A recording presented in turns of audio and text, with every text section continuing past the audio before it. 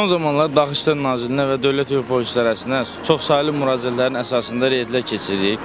Reydlər əsasən fərqlənmə nişanına bağlıdır. Yəni, taksi fəaliyyətlə məşğul olan sürücülərin 70% yaxının fərqlənmə nişanları yoxdur. Nəqliyyat vasitələrinin əksəriyyəti texniki nasaz vəziyyətdədir.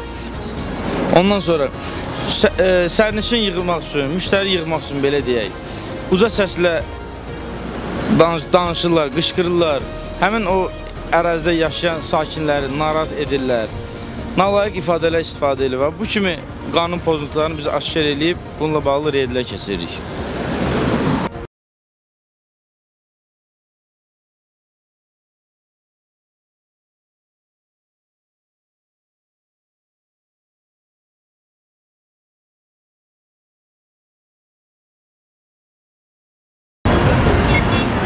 Burada e, taksi sürücüləri arasında fərqlənmə nişanı olmayan sürücülər çoxdur. Onlar hesab edirlər ki, kimsə bunlardan mütləq bunu tələb eləməlidir, amma e, onlar da bunu bilməlidirlər ki, hər ay e, Bakı Nəqliyyat Agentliyindən fərqlənmə nişanı alınmalıdır. E, avtomobil saz vəziyyətdə olmalıdır, səliqəli olmalıdır. Çünki bu taksi fəaliyyətilədir, bu ictimai nəqliyyat növüdür.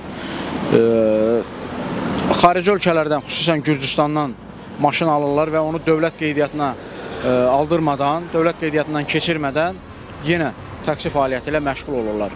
Bunların arasında e, cinayətə meyilli olan şəxslər var. Dəfələrlə olub e, sərnişini qarət eləyən taksi sürücülərinə rast gəlinib. Cinayət törədən, daha ağır cinayət törədən taksi sürücülərinə rast gəlinib ki, e, bugünkü reyddə də siz də bunun şahidi oldunuz. E, narkotik vasitələrin müxtəlif dərman preparatları var ki, hansı ki, psixotrop e, tərkibli dərmanlarda onlardan istifadə edirlər.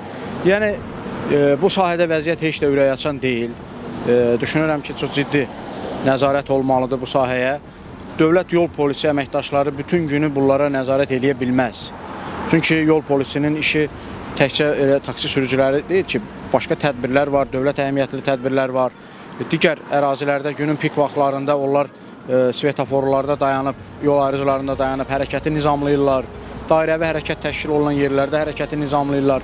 Yəni hamısının yol polisinin üzərinə yükləmək olmur. Digər aidiyyatı qurumlar da bu işə ciddi nəzarət eləməlidir. Deyək ki, Gürcüstandan gətirilmiş Gürcüstan dövlət nömrə nişanı ilə sürülən taksi sürücüsü, taksi maşını. Heç bir yerdə qeydiyyatı yoxdur. Bəlkə sərnişinləri yığıb ölümə aparacaq. Bunu kim tapa biləcək? Hardan tapmaq olar? Nə sürücü haqqında bir məlumat yoxdur, nə maşın haqqında məlumat yoxdur. Gedir nömrəni dəyişib başqa bir nömrə bağlayacaq üstünə. Kim tapa biləcək? Sonra yenə qalır iş polisin üzərində ki, polis hara baxır. Polis də gəlir burada tədbir keçirir, başlayırlar etiraz eləməyə ki, yo biz bəs nə edək? Biz e, demokratik cəmiyyətdə yaşayırıq. İnsanlar küçədə sərbəst hərəkət eləməlidir. Amma bunların əlindən nə avtomobillər sərbəst hərəkət edə bilir, nə piyadalar. Ona görə e, bu düşünürəm ki, artıq bir son nöqtədir. Buna e, ciddi mübarizə aparmaq lazımdır və bir son qoyulmalıdır. O mikroavtobuslar, o taksilər əgər şəhərlər arası, rayonlar arası fəaliyyət göstərirsə, zəhmət çəkib avtovağzalın ərazisindən istifadə eləsinlər. Avtovağzaldan avtovağzala.